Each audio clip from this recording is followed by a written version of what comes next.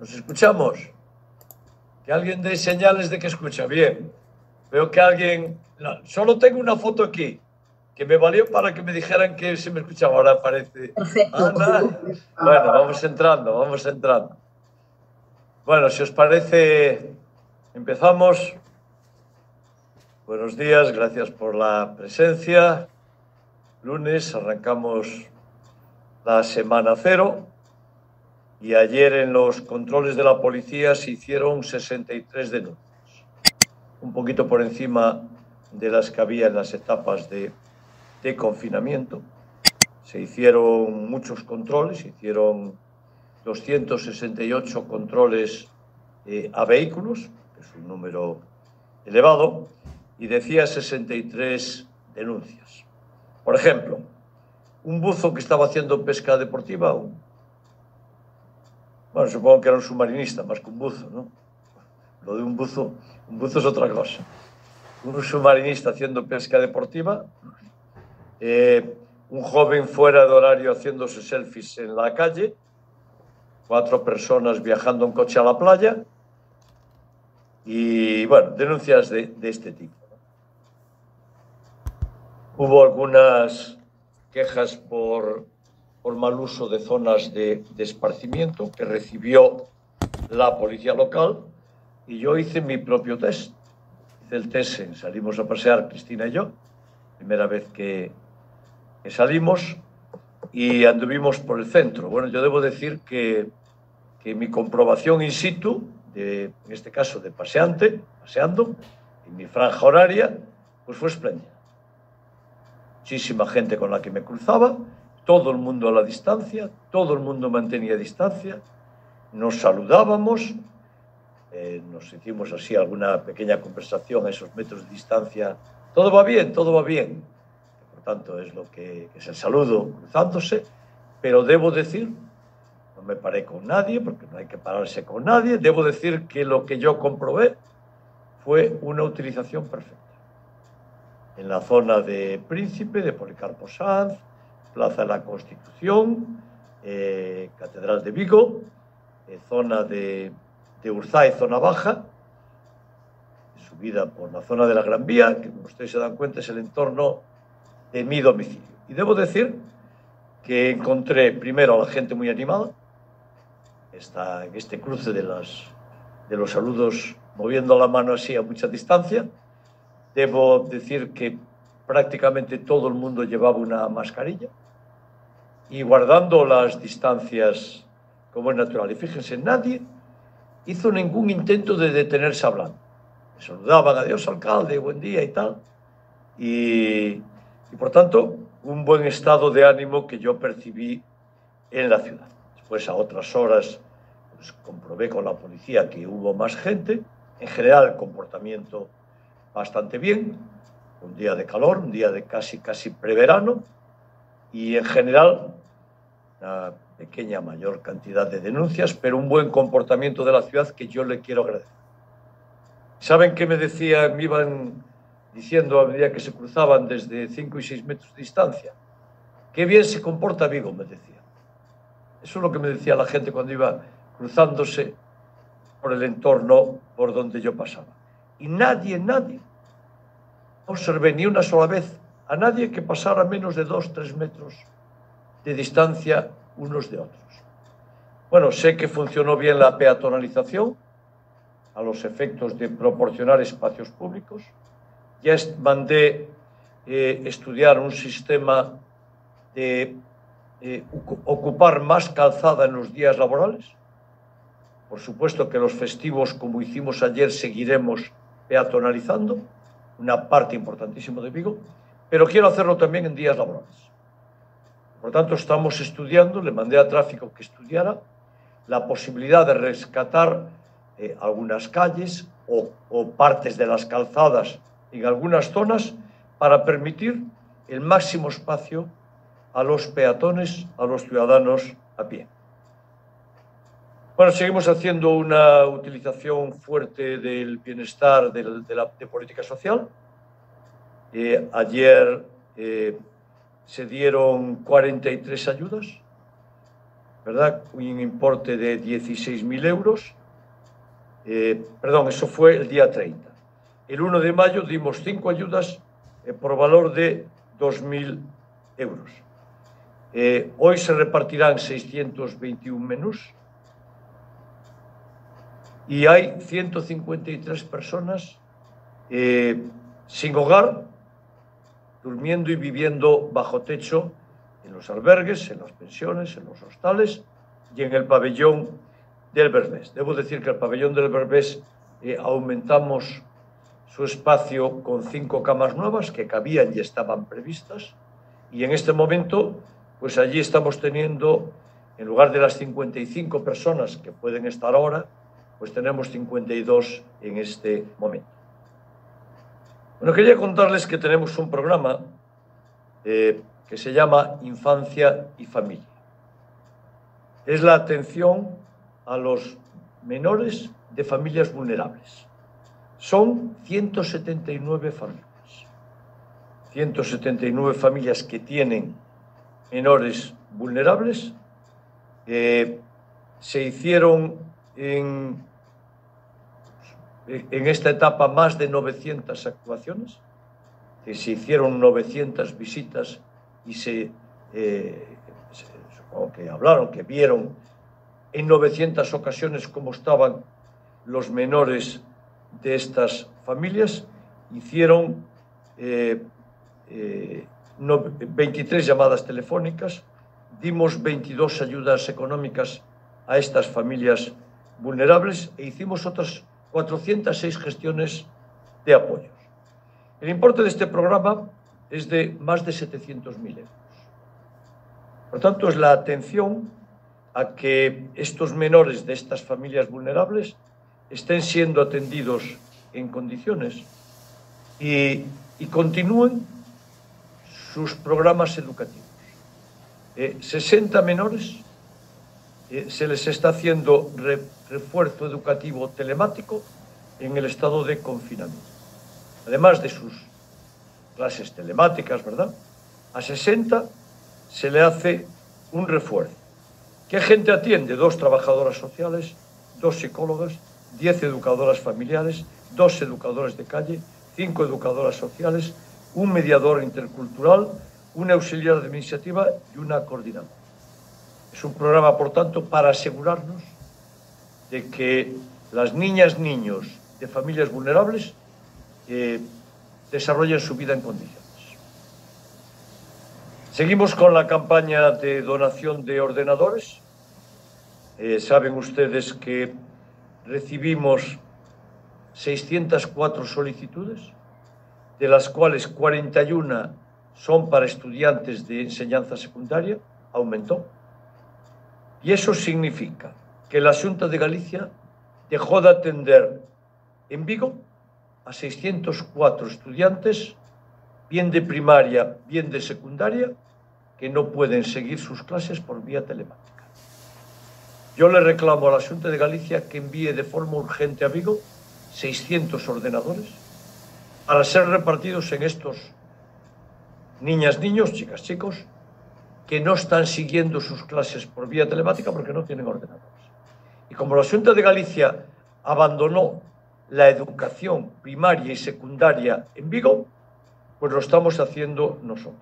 A estas alturas tenemos 210 equipos donados. Sigo haciendo llamamiento porque necesitamos unos 400 más. 010, llamada, lo recogemos, la empresa, la empresa Revertia los arregla y los entregamos. Se lo damos a los directores de los centros educativos para que se los entreguen a los las estudiantes. Bueno, esta mañana se está haciendo eh, con protección civil, con policía local y con policía nacional un reparto, una distribución de mascarillas. Se están entregando a personas que utilicen transporte público, se le están entregando un máximo de cinco por persona, vienen todas estas mascarillas del Gobierno de España. El Gobierno de España entregó hoy en Vigo, a través de la Policía Local, de la Policía Nacional y de Protección Civil, 30.000 mascarillas. Estas se unen a las 20.000 que repartimos nosotros y a las eh, 20.000 que repartió el Gobierno de España a través de la Junta de Galicia. Debo decir que todas las mascarillas que se repartieron en Vigo, todas vienen del Gobierno de España. Todas. Del Gobierno de España y 20.000 del Ayuntamiento. De... La Junta de Galicia no dio ni repartió una sola mascarilla en esta. Y bueno, pues la tiene abandonada, como es natural. Porque lo que nosotros recibimos de la Junta, todo venía del Gobierno de España. Nada era de la Junta. Y por cierto, ahora ya van a hacer un reparto directamente a los ayuntamientos, también desde el Gobierno de España.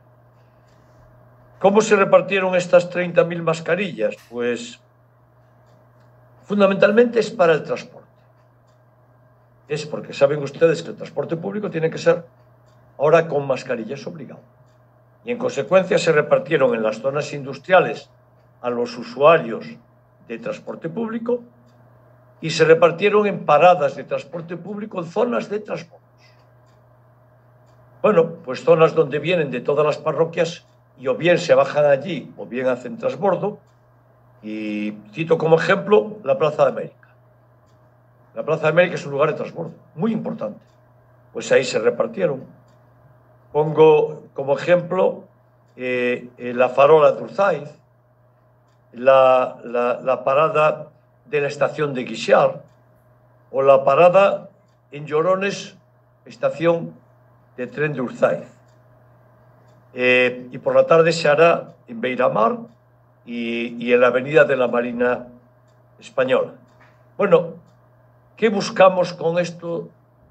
Repartiendo el gobierno municipal y que provienen del gobierno de España, dar mascarillas para que los ciudadanos que utilizan transporte público tengan mascarillas para ser utilizadas la Junta de Galicia envió para ser utilizados en Ciudadanos de Vigo cero mascarillas, cero.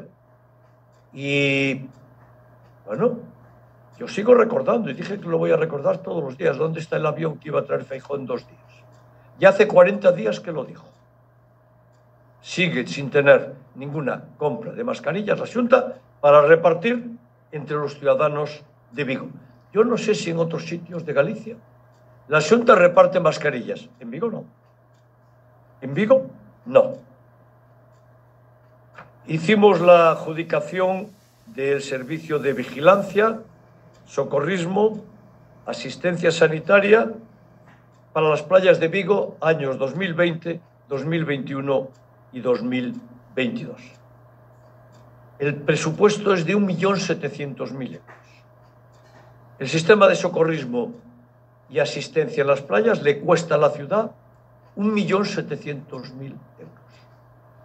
Tres años, 2020, 2021 y 2022. Tiempo de socorrismo y salvamento del 15 de junio al 15 de septiembre. Exactamente igual que contratamos en otros años.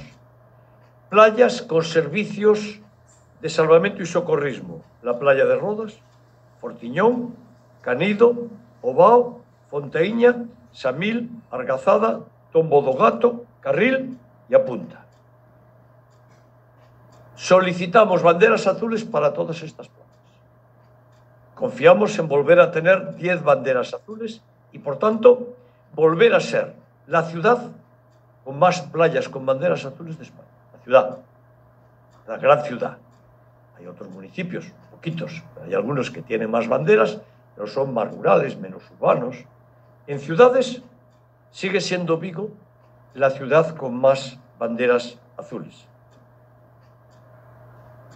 Bueno, hay unos horarios que cuando nos aproximemos al momento se los contaré con calma. Miren ustedes todo lo que movilizamos para salvamento y socorrismo de playas. Un coordinador, dos responsables de playas, un operador de comunicaciones, tres enfermeras o enfermeros, cuatro ayudantes de primeros auxilios, dos técnicos de emergencias sanitarias en una ambulancia, 26 socorristas, un centro de coordinación 8 puestos sanitarios en 8 playas, 13 torres de vigilancia, 12 desfibriladores eh, automáticos y una ambulancia. Es un despliegue total. El despliegue que hacemos en playas en Vigo es total. Por eso el sistema funciona también, aún así nunca está uno libre de, que haya algún, algún accidente grave, ¿verdad? Pero la dotación, la partida presupuestaria y la organización es extraordinaria. También hicimos la contratación del programa municipal de educación básica de personas adultas, para que lo sitúen y, en forma de, entenderlo, se trata de un programa de alfabetización. Se trata de, enseñar a leer a 150 adultos, sitúen como edades de 75 años para arriba, de 75 años en adelante. Hay 150 personas en Vigo que siguen clases para aprender a leer y para familiarizarse con la lectura. Es un programa que todos los años trato de estar con ellos porque me produce una enorme emoción. Porque es la gente que no pudo aprender a leer. Es la gente que cuando eran niñas y niños, sobre todo son mujeres, básicamente son mujeres que no fueron al colegio o que fueron tiempo insuficiente y que no saben leer. Y que hicieron toda su vida sin saber leer. Y ahora que aprenden a leer ya se lo dije, pero se lo quiero volver a repetir a ustedes. Cuando charlo con ellas y con ellos, ¿para qué quieren saber leer? Para leer los periódicos. Cuando les pregunto, me dicen, queremos leer los periódicos, alcalde. ¿Y sabéis qué me piden? Más horas de docencia. Y les damos más horas. Es un programa en el que yo no quiero escatimar ni un céntimo. Porque quiero que estas 150, fundamentalmente mujeres, que salieron y se fueron a trabajar muy pequeñitas y no aprendieron a leer, pues por lo menos ahora se familiaricen. Ya casi todas, casi todos ya están más familiarizados con la lectura, pero bueno, leer es un proceso que requiere de un hábito, ¿verdad? De, conocer la mecánica e identificarlo, pero de el hábito de asumir lo que se lee y, lo seguimos haciendo. Nos cuesta 150.000 euros y es un dinero maravillosamente bien eh, eh, utilizado. Hicimos la, la, contratación también de la atención psicológica perdón, para niñas y niños menores, hijos de víctimas de violencias de género. Son 15.000 euros. Bueno, atenderlos, atender a estas niñas y a estos niños en esa situación tan complicada de ser hijos de, una mujer, de una señora que es que eso que fue víctima de violencia violencia eh, machista. Estamos reforzando de forma muy notable el servicio de política de bienestar y de políticas sociales. En este momento la actuación de este servicio es extraordinaria. Estamos dando en esta pandemia toda la cobertura social que se da en Vigo. Todo la el ayuntamiento. La Junta de Galicia, sencillamente, en el ámbito social en Vigo no existe. Si no hubiera Junta de Galicia aquí, nadie la echaría de menos en el ámbito social. Y por cierto, lo costeamos todo desde el ayuntamiento. Yo me pregunto, ¿para qué le dan recursos de política social a la Junta de Galicia, que en Vigo no dedica ni un euro? Lo pagamos todos nosotros. Todo. Absolutamente todo. Bueno, pues eh, acabamos de hacer y de nombrar cinco diplomados en trabajo social para el servicio de política social. Ya habíamos nombrado otras seis personas más y adicionalmente vamos a reasignar dos auxiliares y dos técnicos. En conjunto, habremos incrementado el servicio de, protección social, de atención social en el Ayuntamiento de Vigo en 15 personas. Y por último, debo decirles que mañana haremos la rueda de prensa un poquito más temprano, porque a la una de la tarde voy a tener una videoconferencia con las alcaldesas y los alcaldes de las 15 ciudades, ciudades con más población de España, a la que yo asisto como una de esas ciudades, Vigo, alcalde de una de esas ciudades, pero sobre todo como convocante presidente de la FED. Quiero que pongamos en común eh, la situación de las grandes ciudades de España, que tenemos factores diferenciales y que yo creo que es bueno que pongamos en común. Y por tanto, mañana a la una de la tarde, pues estaremos las 15 ciudades para tener un intercambio de opiniones y ver qué factores tenemos de enriquecimiento mutuo de transmisión de, de información para que la FEI pueda incorporar a su planteamiento político, que ya lo tenemos, pero por si hubiera alguna cuestión que le afecte a las 15 ciudades y que no estuvieran en el planteamiento de la Federación Española de Municipios y Provincias. Y a partir de ahí, a su disposición. ¿Alguna pregunta? Buenos días, alcalde. Soy Ana Fuentes. Quería preguntarle dos cosas. Eh, sobre la ocupación de la calzada en días laborables, ¿cuándo cree que podría ponerse en marcha? Y otra cosa es que dice que ahora se va a hacer un reparto a los ayuntamientos desde el Gobierno de España.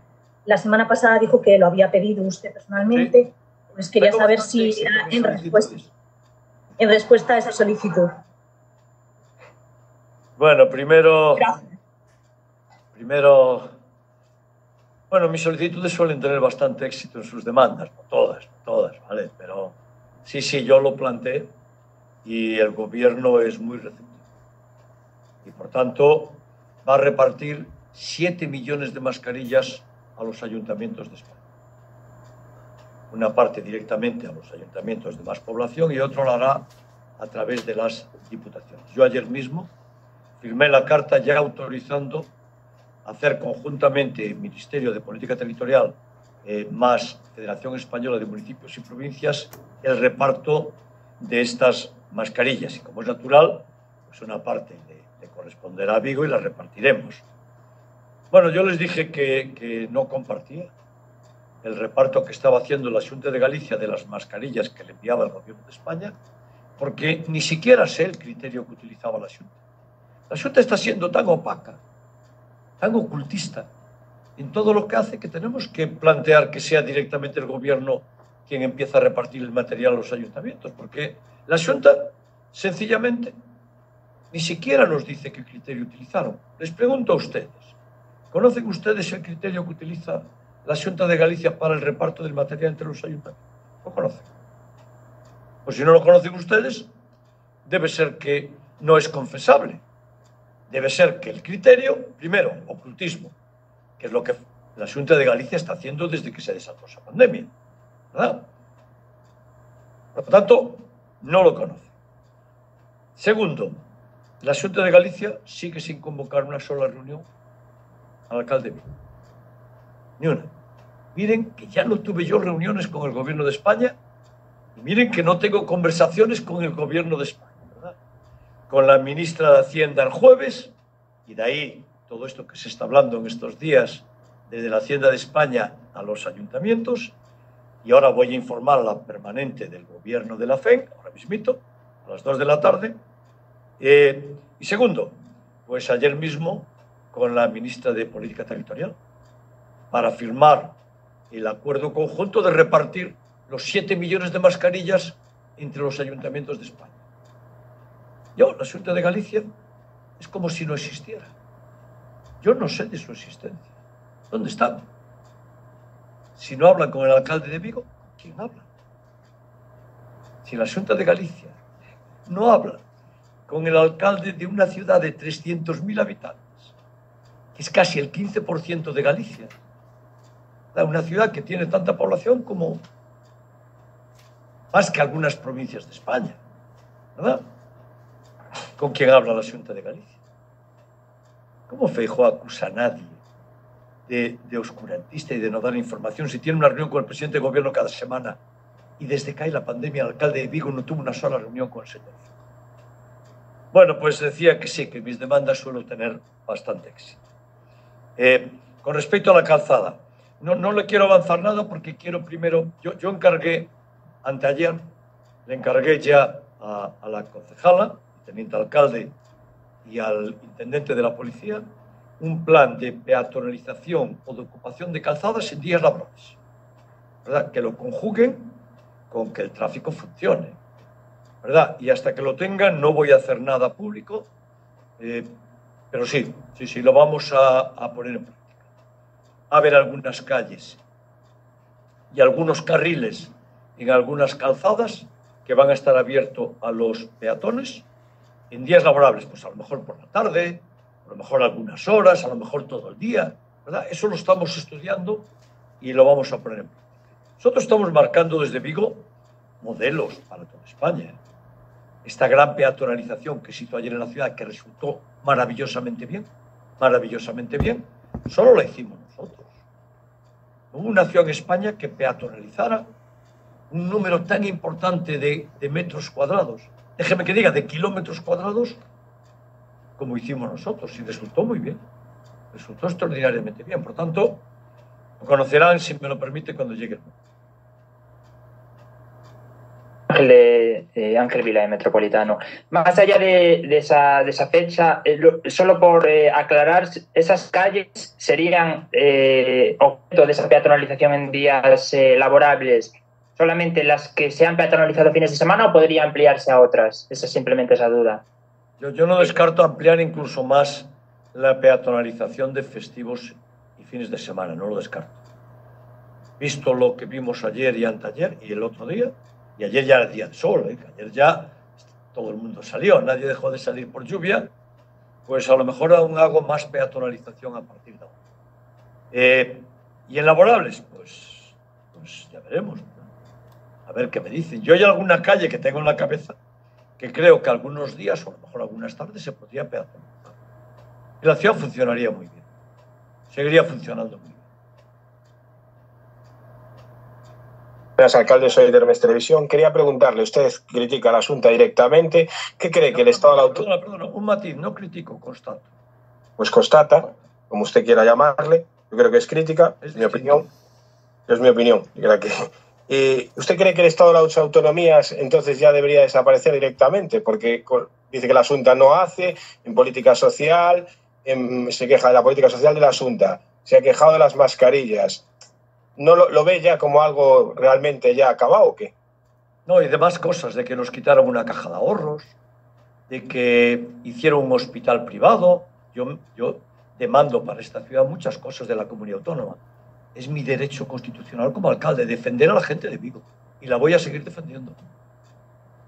Y la pregunta es esa, ¿usted cree que entonces el Estado de la Autonomía ya ha fracasado? Yo siempre voy a defender la ciudad de Vigo y a sus ciudadanos. Siempre. Contra las agresiones, en este caso visibles, de la Junta de Galicia, como querer cerrar el aeropuerto de Vigo, como hacer un hospital privado, como quitarnos una caja de ahorros, como intentar quitarnos el partido judicial, sí, sí, lo seguiré haciendo.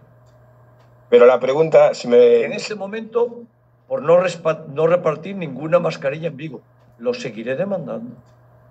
Sí, pero a ver si me, si me explico bien. La pregunta es si usted ya cree que el Estado de Autonomías ha fracasado. No, yo creo que quien fracasó en Vigo es el señor Feijóo. Y otra pregunta, si me permite, es el otro día en una entrevista el presidente de, de un sindicato de la policía se quejaba de que estaban confinados donde cambiarse, en, el, en que no se cambiaban todos juntos. ¿Usted tiene conocimiento de...? No, no, sé de qué está hablando. Cuando conozca la declaración le diré. Eh, es una entrevista que hizo... En... algún sindicato de la policía local, ¿se refiere usted? Sí, sí. Por... Algunos calumnian sin parar. Es una entrevista que... de la policía local calumnia sin parar. Es una entrevista que hizo conmigo en Hermes Televisión, entonces por eso... Como usted comprende, no puedo ver todas las televisiones. Todo no, solo veo una. Gracias. Gracias. Alcalde, muy buenos días. Hola. Eh, quería preguntarle por las denuncias que ha comentado, de las 63 denuncias. Eso se refieren a ayer domingo y quería preguntarle si tiene datos del sábado. Ayer domingo, sí. Vale. ¿Y si tiene datos del sábado? ¿Perdón? Si tuviera datos del sábado, de las denuncias que se pusieron el sábado, por favor. Yo creo que te las enviamos, porque ahora yo no hice rueda de prensa. Y no sé vale. si sacamos nota dándola. No, las enviamos. Vale, gracias.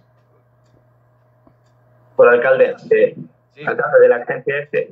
Yo quería preguntar por el cuestionamiento de, varios presidentes autonómicos de, prolongar el estado de alarma, entre ellos el, presidente Feijóo. Yo no sé qué, consideración se puede realizar, o sea, cuál es la opinión desde la Federación de Española, el municipio. No, no, yo hablo desde el Ayuntamiento de Vigo, ¿verdad? Yo hablo como bueno, alcalde, como alcalde entonces. Sí, como alcalde de Vigo, eh, eh, el mantener el estado de, de alarma es una garantía muy importante para la salud de la gente. Y yo, después de haberme reunido con técnicos y con este equipo asesor de sanitarios, y desde mi propia visión, creo que las precauciones en preservar la salud son importantísimas. Y el estado de alarma dio un buen resultado. Y de hecho está doblegando y doblegó y atorció el pico de los niveles de contagios, bajó el nivel de personas eh, activamente contagiadas y creo que, por tanto, eh, se debe mantener y se debe apoyar el estado de alarma. No, tengo ninguna duda tal respecto.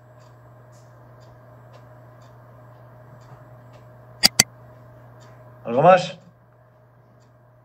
Muchas gracias, amables. Gracias.